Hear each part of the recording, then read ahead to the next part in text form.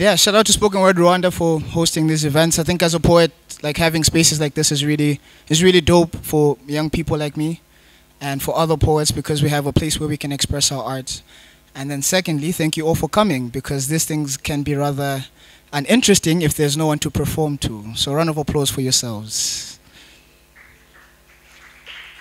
You guys don't like yourselves? Clap for yourselves. Uh, I'm going to read two poems for you if that's okay. Um, this first poem is called, um, it's a short poem and it's called Hard to Love. And it's for my new friend Nathaniel. This is going to be awkward because it's a love poem and I'm sending it out to a guy, but just bear with me. you act like falling in love is a bad thing. Like being committed is a disease, a leprosy that covers your skin and makes you unclean. You act like you are incapable of more than just empty promises and feelings and reciprocated and a volcano of pent up emotions always waiting to erupt. You act like you are not made up of more than just body. You are spirit and soul, but all you do is take bodies and parts of bodies and souls as if the physical is the only realm you exist in. You act like there is no God, as if He has not shown you love or the way or how to pray or ways with which you must not prey on innocent souls that fall in love with you, even though they cannot see you, but they feel you in each captured image and creation of memory. It takes them less than six days to fall in love with you while you are still figuring out which fruit to eat. A fruit a day keeps the doctor away, but you have never learned the art of swallowing your Adam's apple.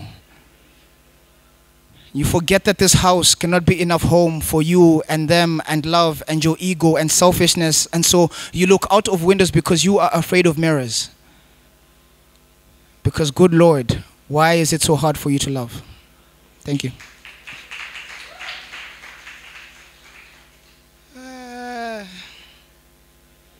Uh, uh, how many of us can swim? Hands in the air if you can swim. Don't be shy. Okay. How many of us speak a tongue that is foreign to us?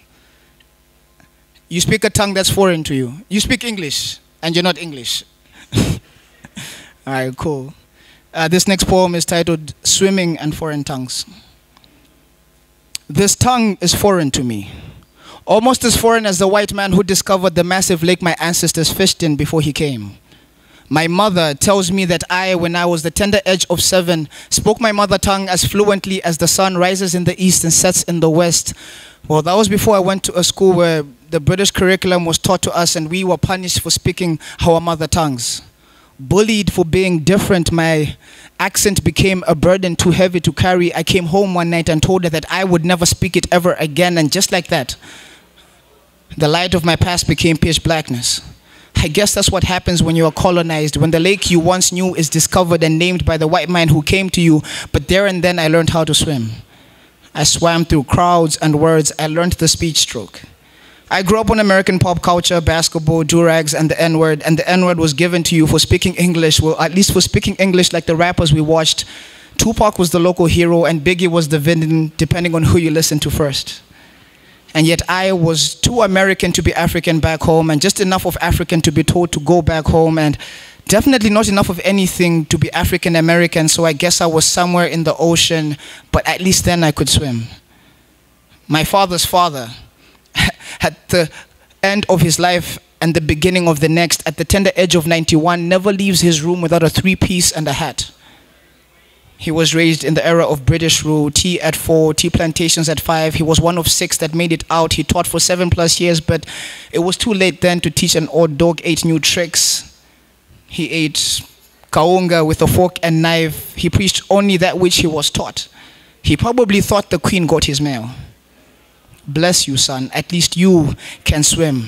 I never appreciated my ability to swim till I realized that I have no identity. It was lost in the sea of forgetfulness of my mother tongue, dropped in the hole I dug as punishment for connecting to my roots. My tongue learned to swim past crowds that once laughed at my accent, past my own people that judged me for not being able to carry my mother through my tongue. It swam through waves of fear and lack of identity. But at least then I could swim. Thank you.